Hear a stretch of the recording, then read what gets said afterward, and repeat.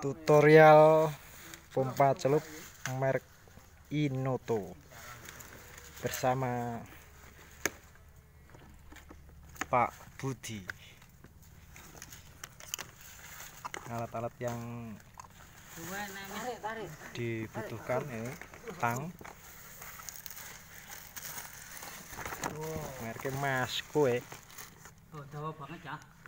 obeng tes pen sama tang ampere atau voltmeter nah ini pompa celup merek Inoto 0,75 HP dengan daya listrik 550 watt.